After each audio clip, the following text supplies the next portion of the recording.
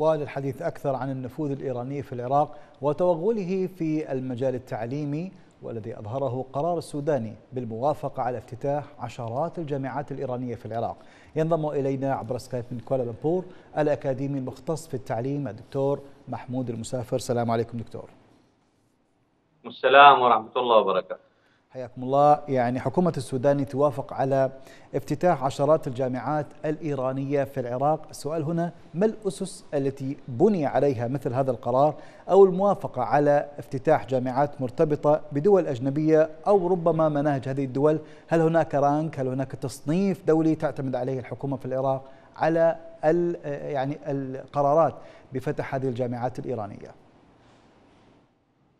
شكرا بارك الله فيك أخي العزيز وعلى تسليط آه، قناتكم على هذا الموضوع المهم جدا واللي هو الحقيقة الآن آه، يعمل تحت الأضواء لكن قريب يعني قريبا جدا آه، راح تكتشف فيه أشياء كثيرة وأنا لدي بعض الأمور اللي اطرحها اليوم. إن هذا القرار الحقيقة ليس جديدا تم التمهيد له منذ الحكومات السابقة.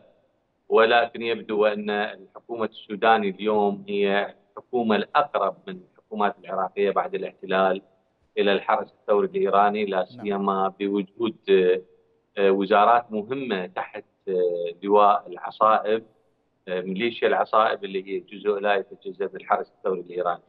لذلك أنا أعتقد إنه ستتسارع الخطى لتنفيذ الأجندة، طبعا هذه الأجندة التخريبية بدأت بالتأكيد باحتلال العراق وتهديم كل الجوانب المهمة فيه مثل الصحة والتعليم والزراعة والصناعة وما إلى ذلك.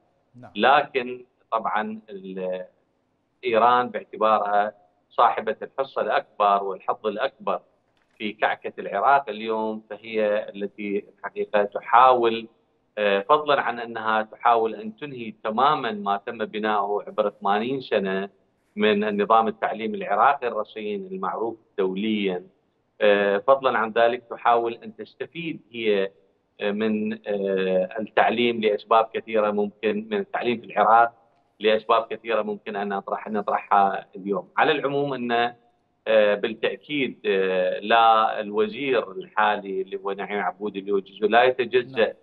من هيكل الميليشيات في العراق التابعه للحرس الثوري ولا إدارة الوزارة قادرة على أن توقف هذا المد الإيراني في داخل وزارة التعليم وجامعاته لأن هذا قد استشرى فعلا و وما بقى إلا الحقيقة إلا بعض الإعلانات التي التي يمارسها اليوم آه، المستشار الثقافي الإيراني الذي يقول آه، يعني مؤخرا إنه حصل على الإذن لإنشاء ثلاث جامعات آه، في العراق هي جامعة طهران وجامعة المصطفى وجامعة آزاد وهذه من الجامعات الحكومية الكبرى في في إيران، من نعم. حين حصل الإذن لا يتحدث بذلك ولكن هو آه، آه، يتنبأ وليس يتنبأ يعلم وينبئ بأن ثلاث جامعات كبرى ستفتتح كما أعلن في تشرين الماضي تشرين الثاني الماضي عن افتتاح آه، جامعة طهران للعلوم الطبية في مدينة آه، كربلاء.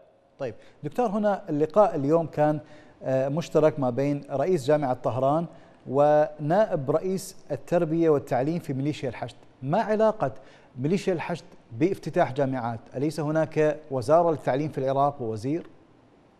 نعم نعم هناك وزارة والوزارة هذه من بضمن نظام المحاصصاتية التي أقرتها جاءت بها الولايات المتحدة الأمريكية وأقرتها كل الدول التي اعترفت بالحكومة العراقية بلا استثناء.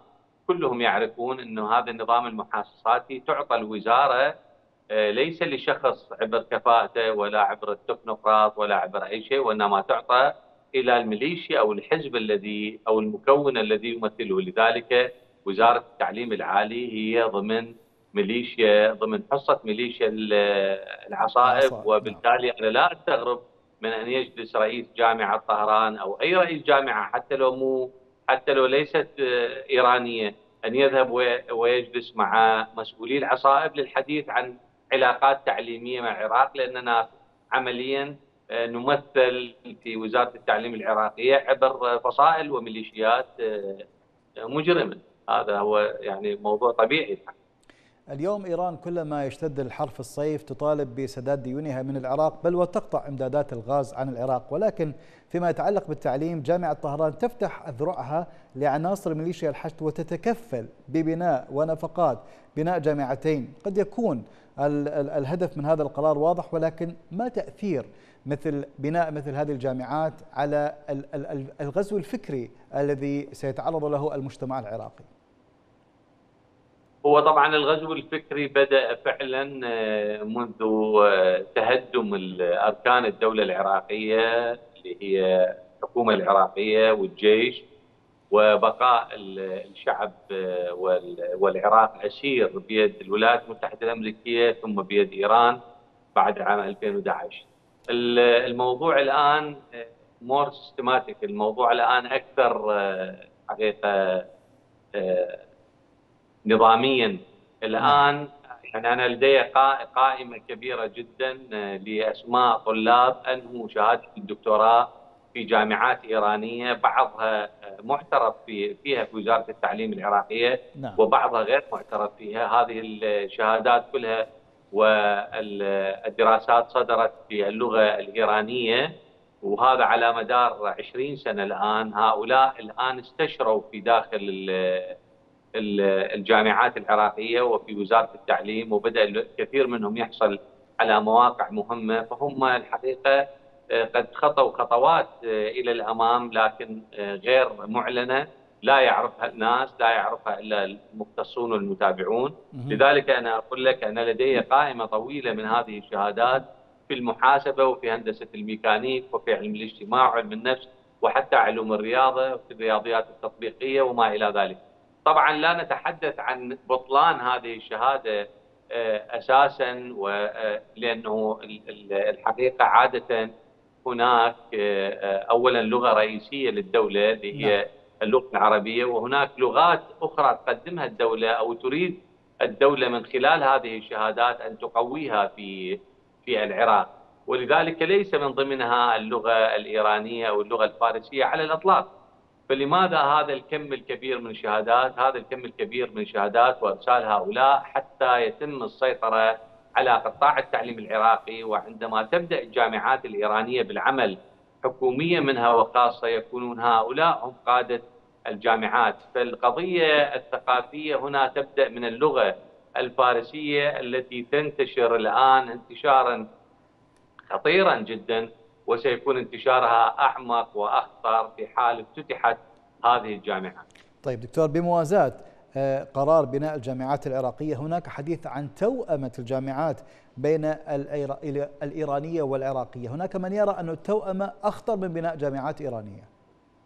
نعم وأنا أرى ذلك أيضا لسبب بسيط أخي العزيز، التوأمة تحتاج نظام تعليمي رصين، موجودة التوأمة في كل مكان وأنا عملت رئيس جامعة لعدد من الجامعات ونائب رئيس جامعة وعملت في موضوع التوأمة والفرنشايزنج لكن الحقيقة مشكلة التوأمة إنها تحتاج نظام رصين جدا للحفاظ على عفوا دكتور فقط لو توضح للمتلقي معنى التوأمة أو تعريف التوأمة آه. عفوا التوأمة الحقيقة هو إنك تعطي آه، منهج دراسي وشهادة دراسية ليس لك وإنما لجامعة أجنبية تعطيها على وفق مواصفات ما تريد الجامعة الأم نعم. بالضبط تدخل في اتفاقية يستطيعون هم بعض الجامعات أن تحصل على إجور على ذلك وبعض الجامعات لا تقبل الإجور ولذلك هذه التوأمة الحقيقة تكون على وفق مواصفات دقيقة للمنهج وللشهادة الممنوحة من قبل الجامعة الأم. نعم. مشكلة هذه التوأمة الحقيقية في كل مكان بالعالم أنها ينبغي أن تكون ضمن إطار قانوني واضح جدا في وزارة التعليم للدولة أو للجامعة التي تحتضن هذه التوأمة لماذا؟ لأن الجامعات هذه تكون قاسية الجامعات الأم قاسية في فرض شروطها على الجامعات الصغيرة التي تقوم بالتوأمة مع الجامعات الكبيرة عموما عفوا دكتور هل سيكون هناك مناهج مشتركة أو اختيار مناهج مشتركة ما بين العراقية والإيرانية أم ستكون الجامعات لا لا. العراقية تابعة تماما للجامعات الأم في إيران؟ لا لا لا لا, لا هي المشكلة هذه. أنت الآن ما عندك وزارة آه، تعليم قوية، ما عندك هيئات تقويمية قوية، وزير التعليم تابع لميليشيا لميليشيا تابعه إلى إلى إيران وبالتالي سيكون كل النظام القانوني والتطبيقي ضعيف جدا تجاه الجامعات المانحة للشهادة هي التي ستقرر بالكامل كيفية منح الشهادة ومن المقبول وما إلى ذلك. لذلك سيكون النظام التعليمي العراقي على وفق التوأمة نظام أسير بالكامل لعدم وجود نظام قانوني صحيح في العراق يمنع هذا الخضوع التام الذي يحدث اليوم. نعم.